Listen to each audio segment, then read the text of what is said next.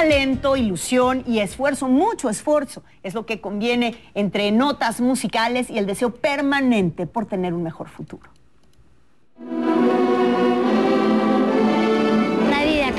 Sabiendo tocar música, nadie acá vino tocando un oboe, nadie tocando la viola vino sabiendo nada. Pero si ven, si nos ponen tantita atención en este concierto que vamos a dar ahorita, de seis meses que no sabíamos nada, ahorita van a quedar impresionados.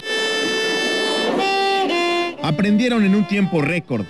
En medio año, 193 niños de nueve municipios de Chiapas se juntaron y aprendieron a tocar.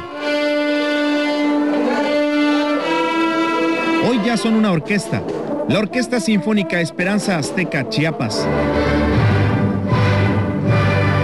El presidente de Grupo Salinas, Ricardo Benjamín Salinas Pliego, y el gobernador del estado, Juan Sabines, fueron los invitados de honor a este primer concierto. Esta ilusión, este sueño que nos compartió a, todos los mexicanos, don Ricardo Salinas Pliego, para quien pido un fuerte aplauso. Le agradezco muchísimo, don Ricardo. Bienvenido a, a Chiapas, es su casa. Premio Fray Matías de Córdoba 2010.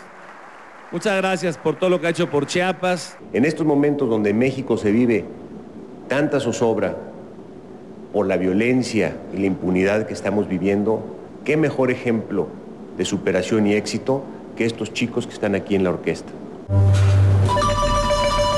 Cuando la marimba comenzó a sonar, la gente no dudó en aplaudir.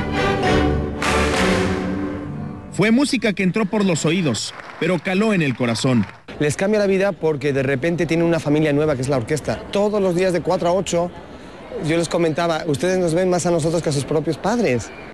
Debido al éxito de las orquestas Esperanza Azteca, el presidente de Grupo Salinas anunció la creación de más conjuntos. Hoy tenemos ya 23 orquestas con más de 5 mil niños, pero hoy acabamos de anunciar dos más, la de Tapachulas y la de San Cristóbal de las Casas, así que vamos para arriba.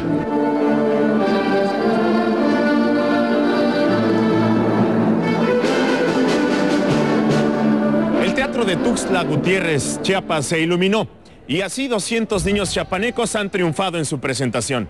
México tiene ya una nueva orquesta Esperanza Azteca. Con imágenes de Aldo López en Chiapas, Jorge Muñoz, Azteca Noticias.